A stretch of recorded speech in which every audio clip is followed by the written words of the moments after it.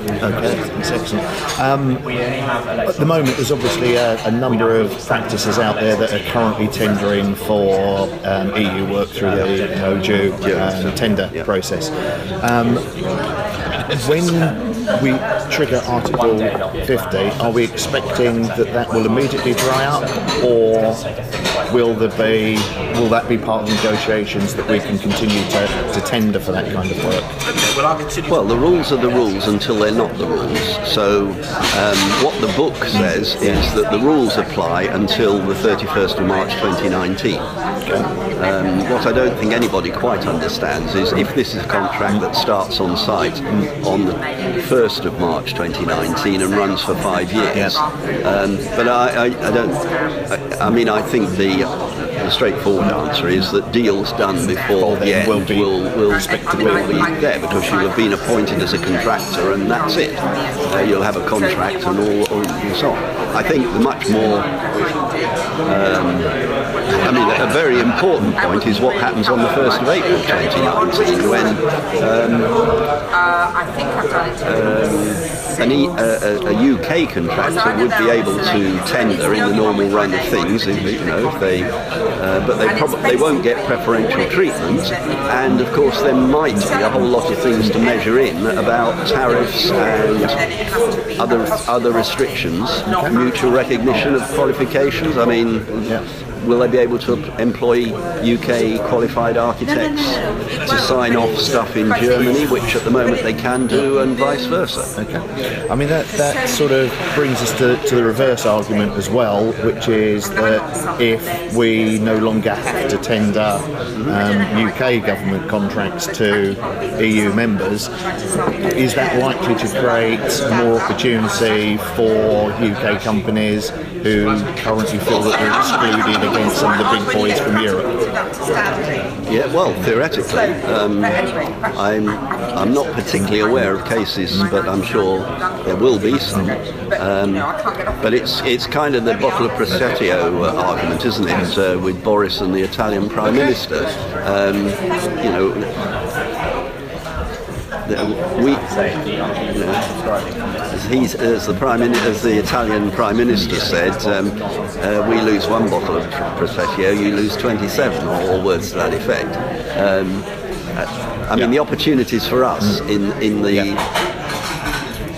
80% yeah. of the market is, uh, which we forego are greater than the ones that we may I mean, benefit from. Certainly. And, and I'm also, I think, I mean, the real life situation is that the huge majority of construction contracts are let to, to companies within that country. There's, there's, there isn't that much uh, swap over except on the really enormous contracts um, where it's worthwhile uh, an outside bidder. Um, you know, setting themselves up and doing it. I mean, you know, a block of flats in Berlin versus a block of flats in Sydenham. I mean, nobody's interested in, in doing that. Okay, excellent. Um, moving on more specifically to, to my sort of specialist area in my column, should it? We, okay. we focus on that. Yeah, yeah. Um, we, we've obviously spent decades harmonising with the um, EU construction regulations. Yep. Um, we've only recently made the transition from the British standards to the Eurocodes and said we're now no longer going to um, yep. uh, update those. Um, is it realistic to expect a transition of the kind that we're talking about um, with, with, a hard Brexit within a two year period? For example, will BSI still be able to harmonise with, with CEN? Yeah, well, I mean, um, the first thing to say is that technically the standards are not necessarily included in the Brexit stuff. There, there is there are quite a lot of parallel organisations. I mean, Euratom is another one. Uh, there's a long list, actually. Um, you know, the European Space Organisation and so on, um, which are not it's not compulsory that changes take place. But I think in a lot of them, that what is at risk is that we lose the capacity to influence the direction in which things move, um, and we become um, bystanders to the evolution of standards and the direction of travel. And I think um, again, in, real life, um, especially in the contracting industry, um, if standards change and evolve at the European level, we will want to change ours to match them um, because the divergence becomes more and more of a problem uh, the further along you go. So, I, I mean, to, we are again, we're in uncharted territory, but um, the most likely thing is a loss of the capacity we've currently got to steer the way that things go. And I mean, I, I don't know how far this is national uh, hyperbole, but it, it's always been said that to a significant extent the BSI standards turned into the Euro standards rather than we having to completely reconfigure ours in the light of theirs. So in the past we have been if not the designers, we've been ma- major influencers of the way that standards have evolved, and the the obvious likelihood is that that will drift further apart. Yeah. Okay, thank you. Um, on a similar uh, note, obviously we, have been working hard to come up with common BIM standards. Yeah. Um, the government have insisted on the implementation of BIM on, on any contracts that the government have let, um, in, in, part because of a comparatively slow take up w- within the UK.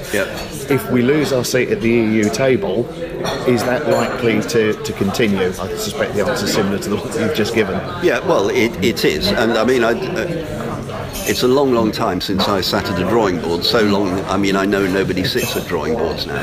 Um, but I mean, the industry is extremely slow moving when it comes to innovation, and um, you know, re- re- reluctant adopters um, and always grumbling. And I mean, what I've seen in the in the in the trade press, uh, not I have to admit the AJ, which I don't subscribe to. Uh, and you don't give me a free subscription. Uh, we'll, the, we'll sort that. um, but uh, no, my, my serious point is that I, I mean I've seen that it's. Um, it's been controversial within the industry uh, whether it's worthwhile at all, uh, how far and how fast uh, movement should go. So, I mean, to some extent, this may be what the I won't say the industry will have a grip of this, but I could imagine the more reactionary voices within the industry saying to the government, well, we don't need to listen to this anymore. But I think that comes back to the, the basic argument about BIM, and that is, um, is it actually um, capable of improving construction processes and performance? Okay. Which, reading, looking at it from outside, I think it is, but I think that's a, a technical debate for the yeah. industry to sort out. Okay.